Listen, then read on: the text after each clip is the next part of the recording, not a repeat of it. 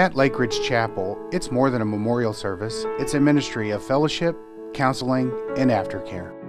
I've been a part of the Lake Ridge Ladies. You will grow as a person and you will meet other friends that will just be your friends forever. You can walk in the door and everybody's going to hug your neck. It's just like family. Our team's goal is to serve your family's needs.